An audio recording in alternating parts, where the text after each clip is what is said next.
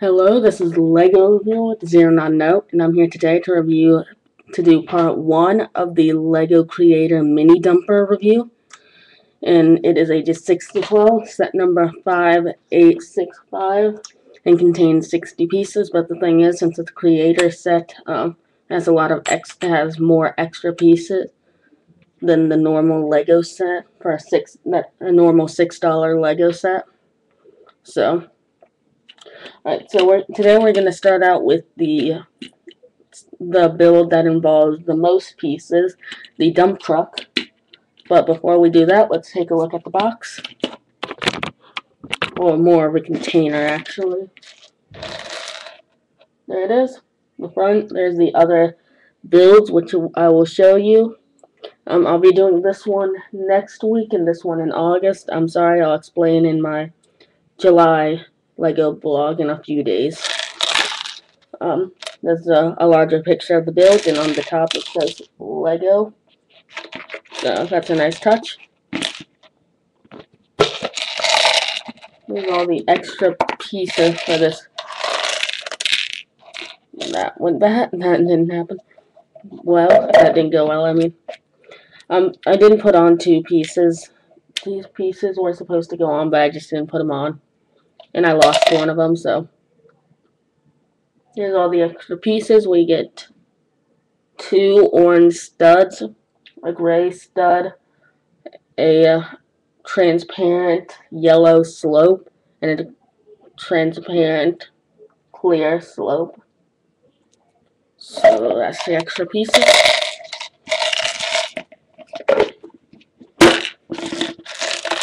Alright, so that's the box. Now let's take a look at the instruction manual. There's the front and the back. So I'm gonna let's take a look at the steps for this particular build. Alright, so it has 10 pages of building and 15 steps. As you can see, those are the pieces I didn't put on. There it is. That's the instruction manual. And each time I, in each part, I will re-show the instruction manual. Alright, so let's take a look at the dump truck.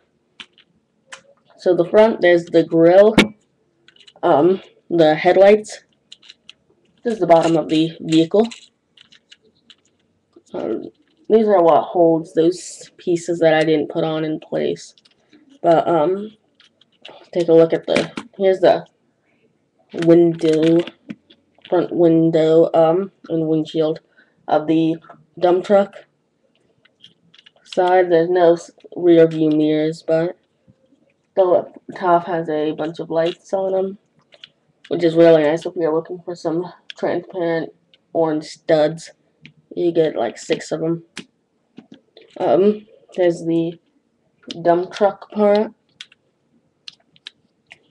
Kind of reminds me more of one of those trucks that you see when they're doing construction or something, where it just all the stuff just kind of sits in the back.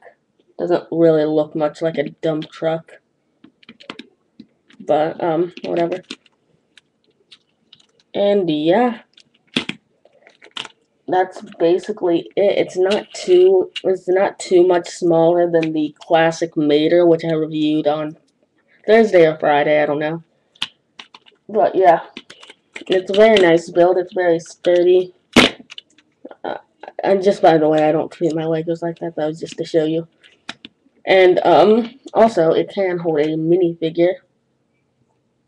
Let's just get her. And the minifigure can ride in the back.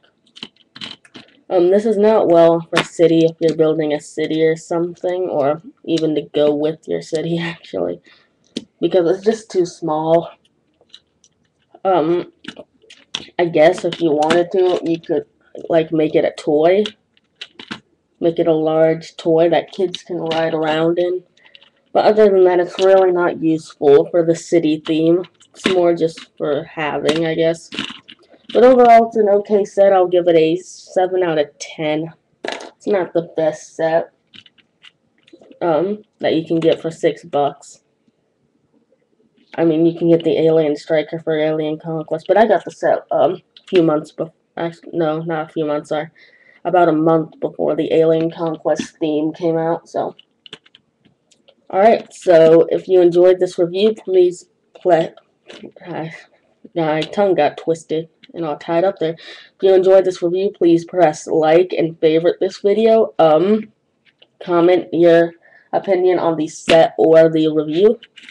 And don't forget to subscribe. Just click up there. And thank you guys for watching.